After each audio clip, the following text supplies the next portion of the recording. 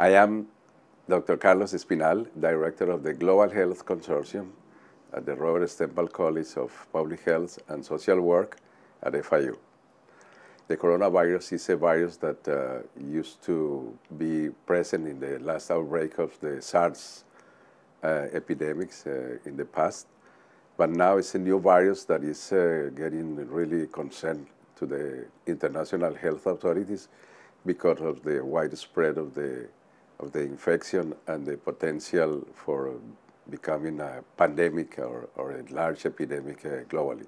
The virus, uh, the, the infection has been really um, uh, monitored, and, uh, and what we have today is about uh, 625 cases uh, globally with a 4% mortality, which is really important, and 25% of the patients goes to the hospital, uh, to the intensive care unit. So this is something important because it's, uh, it's something that really uh, could, could, could, explode, let's say, in a large epidemics and, and cause uh, important disease uh, globally as well.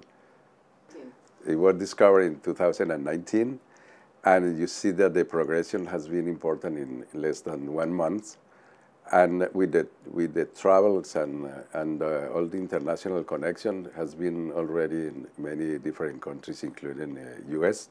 And in Latin America, there are two or three cases that are under uh, evaluation at this moment.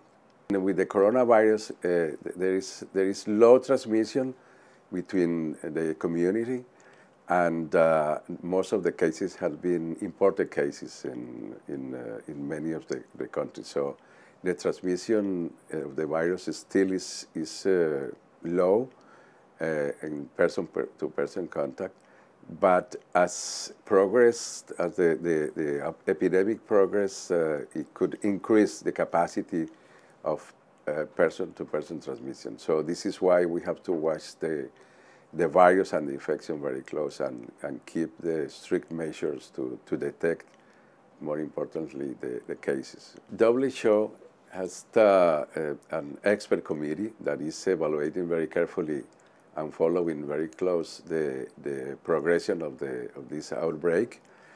Uh, up to date, due to the strict measures that have been taken in China and uh, uh, internationally, and due to the low transmissibility person to person uh, uh, of, of this virus, um, still is, is not um, a public health uh, international concern for, for this uh, outbreak. But that could change according to the situation in the near future. This is why we have to follow very close the, the, the infection and the pattern of the, the disease and the expansion. And if the virus increases the transmissibility person to person, then uh, that, that could change the whole picture because, again, 4% mortality and 25% of uh, hospitalization uh, could be a very large number when, when we have a, an outbreak that is spreading all over the place.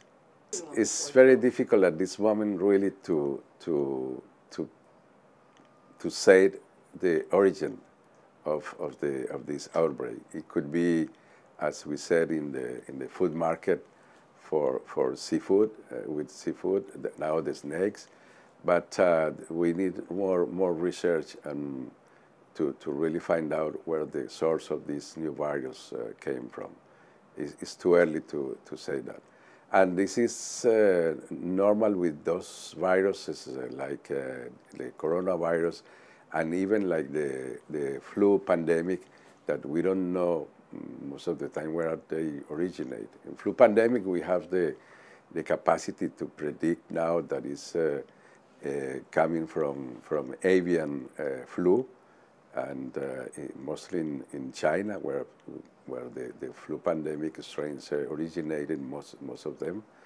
But with the coronavirus, still is too early to, to say where the, the source uh, is, uh, is at, at the present time.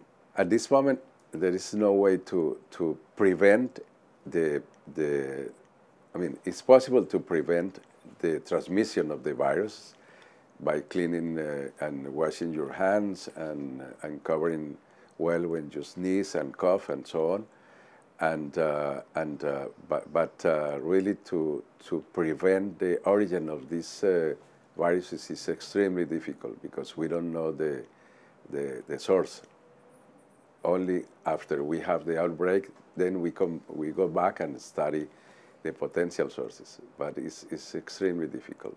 This is why the most important uh, strategy today is uh, disease surveillance and early identification, as, as the Chinese did. They did a fantastic job because they even discovered and they developed diagnosis to be able to detect the virus within the, the three weeks after the first cases of pneumonia and death from, from the coronavirus. So it was, was a fantastic uh, uh, scientific job that they did in China to be able to do an early detection of, the, of this uh, uh new virus.